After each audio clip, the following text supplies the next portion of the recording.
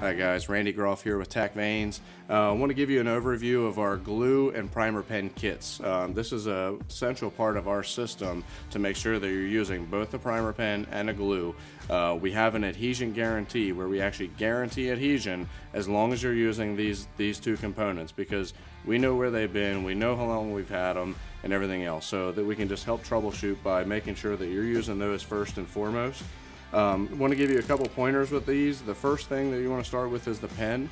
Um, the liquid inside here is three times thinner than tap water, so it's very, very uh, thin viscosity wise. Um, so it's important to make sure that you don't have pressure build up in there.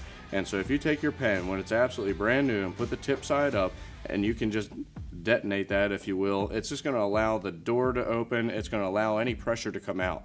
If you have it in the downward position um, on your very first time you push that in, and if it's pressurized, it's going to dump a lot of that liquid out and waste it. So you're not going to get obviously nearly as many vanes out of it. Um, so um, that's going to help you conserve some of your primer. Um, this primer is going to last you probably six to eight dozen arrows as long as you're not dumping it. So that will definitely help. Um, after you like released any pressure, turn it upside down. Just give it one one press, and that's going to show you that if I use a post-it note, you can use a scrap piece of paper, anything like that.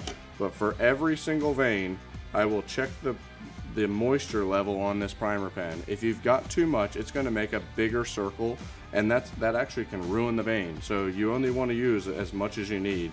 So it's written right on here that more is not better. Um, so you want to take, take one single swipe, get good contact from edge to edge, take one single swipe with a primer pen you're done with that. That's all you need to do. But you do want to follow it immediately with glue. So within the first, you know, five seconds if you can, go ahead and follow it with glue.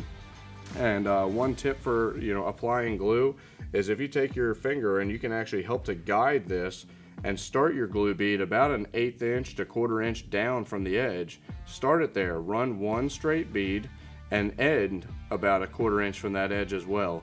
That glue is always going to come out the, the ends. Picture that like a trough almost because it is curved.